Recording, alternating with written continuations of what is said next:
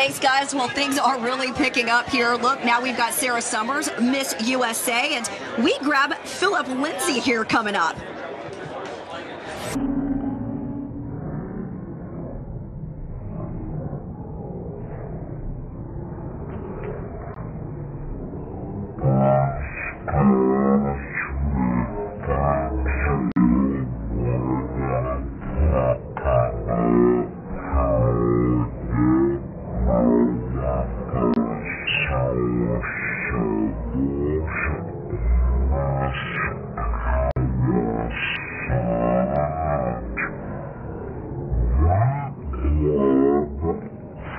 Hallelujah.